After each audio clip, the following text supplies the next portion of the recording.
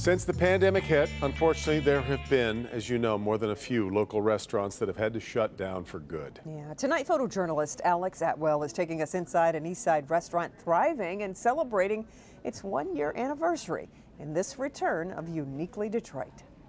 Well, you have to drive past a hundred or so different restaurants before you can come across a place like this.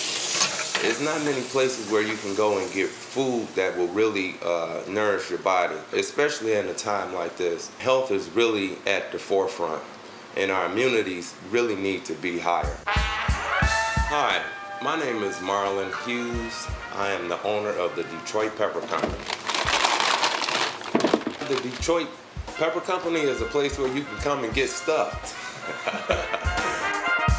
I sell uh, stuffed bell peppers, uh, stuffed poblanos, as well as uh, jalapeno peppers. I'm a plant-based person and everything I eat starts from plants. Yeah.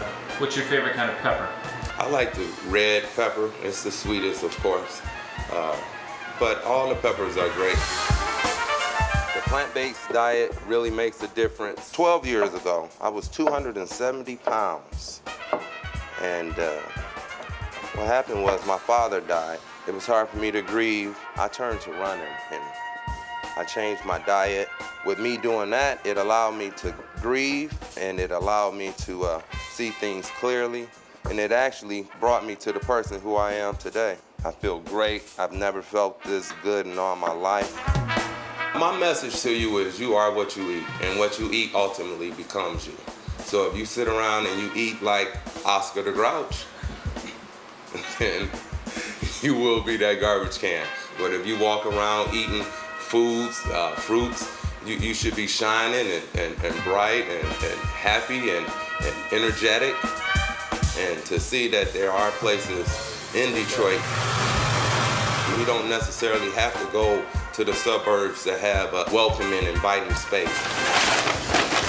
You can get it right here on the east side, on East Warren, 17180 East Warren. like that guy. I, I had no too. idea it was there. And I'll have what he's having. That looked really good. exactly.